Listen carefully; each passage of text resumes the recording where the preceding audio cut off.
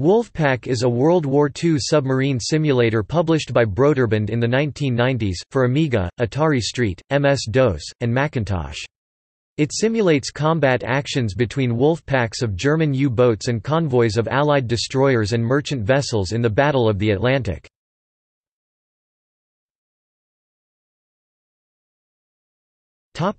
Gameplay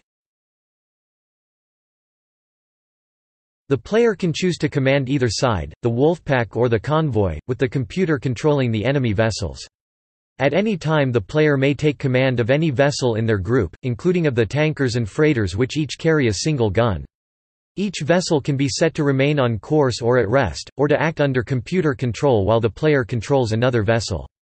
This feature helped pave the way for many modern-day real-time strategy video games. The game allows the player to choose between different levels of tactical complexity. The player can simply command one submarine, or one a time, or issue orders and command the operations of the entire group. They can order a vessel to patrol a certain path, laid out using the mouse with the map screen, or to anchor at a certain point, or take other actions. The user can also create new missions, choosing initial locations, orders, and patrol routes for vessels on both sides. The player can choose to run the simulation in real time, or increase the speed by up to 64 times, allowing the ships to cross large distances in a reasonable time. The simulation automatically slows to real time at important times such as when shots are fired.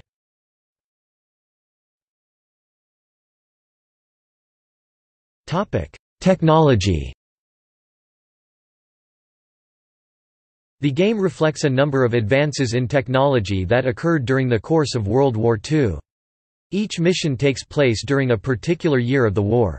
In later years new submarine classes are available to the player, with advances such as greater underwater speed. Destroyers gain radar and active sonar for detection of submarines, and Hedgehog anti-submarine weapons, to supplement the depth charges, guns and passive sonar of the earlier destroyers.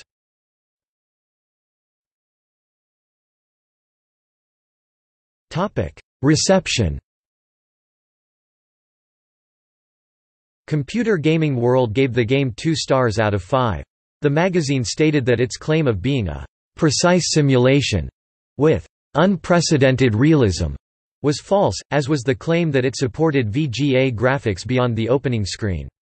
The magazine concluded, "...this reviewer does not consider Wolfpack to have any real long-term sustainability." Albeit enjoyable as a game. The magazine stated in February 1994 that the CD version was compelling because of intriguing soundtrack, mission editor, and ease of play for newcomers, but in April 1994 said that poor graphics made silent service too much preferable to this depth-charged offering.